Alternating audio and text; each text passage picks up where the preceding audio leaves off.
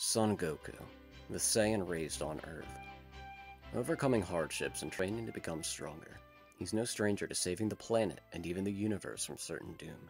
However, why is it that Goku faces the trouble that he does? Is it out of instinct to save those who need it? Or is it a selfish desire to face stronger and stronger opponents? Could Goku be considered a hero? Or is he more of a morally gray protagonist? Today, we'll take a closer look at the actions and character of Son Goku, and determine if he should be considered a hero.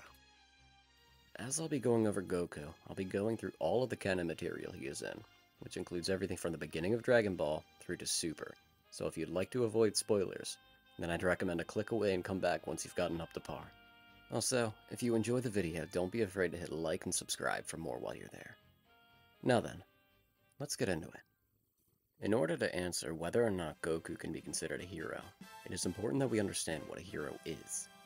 When one thinks of what a hero is, there are plenty of possibilities that come to mind. Strong in the face of adversity, savior of those in need, and overall altruistic. This is definitely true to what a hero is. However, the archetype of hero is a bit more complex than general good nature and strength. The origin of the term hero comes from the Greek language and generally meant protector or defender. In classic stories, the hero is the warrior who lives and dies in the pursuit of honor. Examples of classic Greek heroes include Achilles and Odysseus, who both fought in the Trojan War. Both were heralded for their amazing strength, receiving aid from the gods. However, these heroes also had their faults, such as Odysseus with his arrogance and Achilles with pride. In more modern times, the hero has evolved in definition. A more modern understanding of the hero is similar, however, the focus is less about bravery in battle and more focused on the good nature of the hero. The hero is rooted in the veins of comic book action, with focus more on justice and righteousness.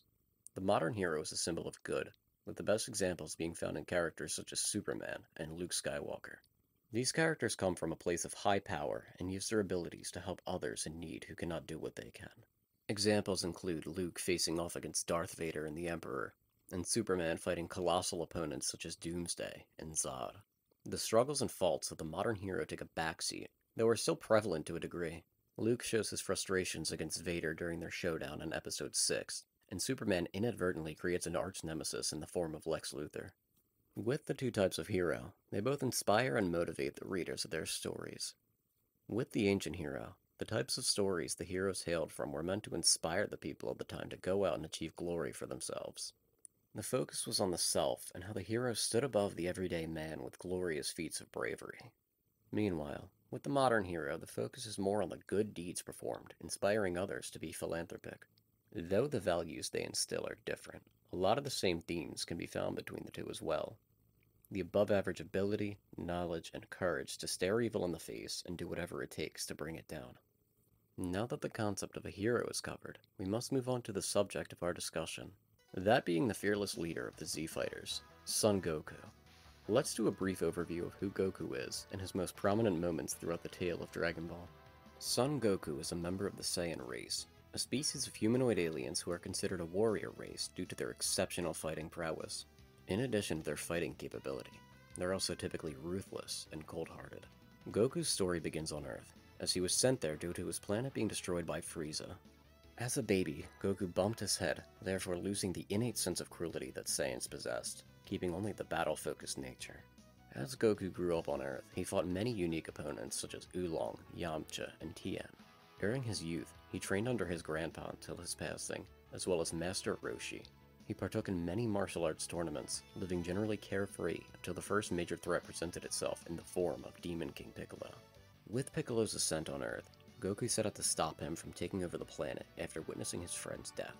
From here, Goku began to garner a reputation as a savior of the planet Earth, saving it once again years later from the likes of Raditz, Nappa, and Vegeta. During the times of peace, Goku managed to start a family as well. He has even traveled to space to topple foes, namely Frieza. Other threats came in the form of Cell, Majin Buu, and eventually Beerus, the god of destruction.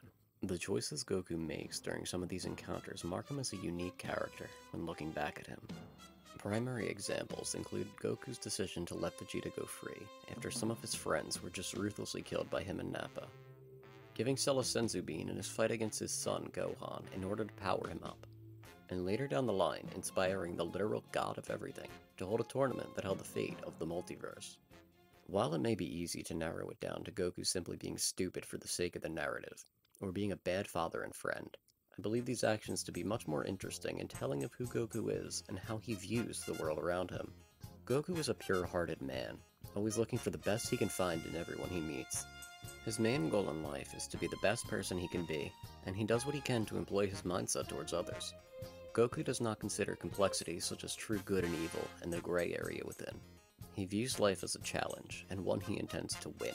Due to his naive outlook, he has made some hefty mistakes, some of which came back to bite him, such as interfering with timelines with Beerus and Whis, inadvertently creating Goku Black. In spite of these mishaps, Goku has done a lot of good as well, in the form of saving the world time and again, as well as being a good person to those around him.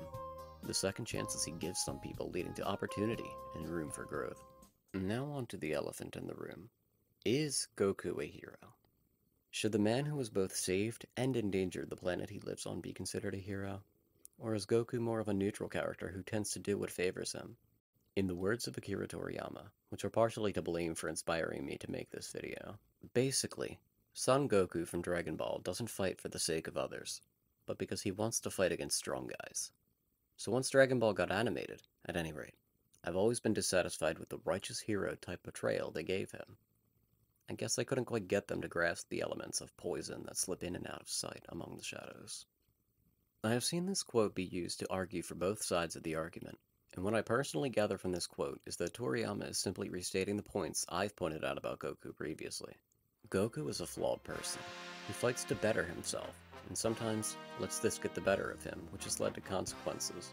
However, this is no different than the heroes of antiquity who would let their bravado push them towards danger, or even lead to their tragic death. Heroes such as Icarus and Prometheus with all this said, I think it is appropriate to say that Son Goku is a hero. He may not fall in line with the idea of a hero by modern standard, but he is a hero no doubt. Goku inspires readers to do good, the same way he has done to characters in the franchise such as Vegeta, Piccolo, and Hit. Son Goku isn't the type of hero that lives to serve and is good all the time. He has his negative aspects, his poison that seeps through but that's what makes him all the more compelling, especially as a hero who aims to save the day and does care about his friends. In the end, Goku being a hero matters for those who enjoy the narrative that Dragon Ball tells. By having the protagonist of the series be a naive but ultimately good person, it allows for a lot of interesting stories to be told. At times, Goku may be frustrating, at others, he may be exciting, but at the end of the day, readers love to root for him and see how he manages to save the day whether it be through the strength of his determination, the bonds he has formed, or even through the lens of another character being able to achieve victory. Goku is a hero, not just in the literary sense, but in the real world as well. He is a hero to fans across the world who look up to him as a source of inspiration, striving to be a good-hearted person who does their best at all times. Never afraid to stare evil in the face, but also not above giving second chances or having errors of judgment. Once again, thank you to everyone who managed to stay until the end of the video. If you enjoyed what you saw, it'd mean the world to me if you could leave a like and subscribe for more content in the future. Leaving a comment helps me out too. Thank you all so much. Bye.